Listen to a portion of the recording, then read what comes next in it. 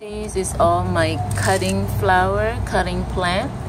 This one is the snake plant. This one is the purple heart plant. And this one is the 10 o'clock.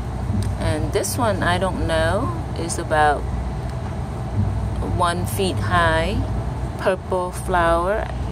I found this on the curbside. I do a cutting. Next time there's a flower, I will video it for you.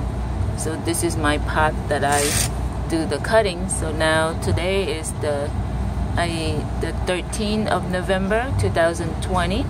This one I cut on the 10th, 11th of November. The 11th of November and the 11th of November. These are the easiest cutting plant and flower there is in the planet. It's so easy to propagate, so easy to replant them.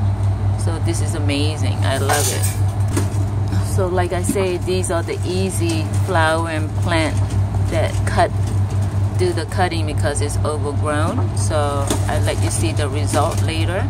Like subscribe and comment for more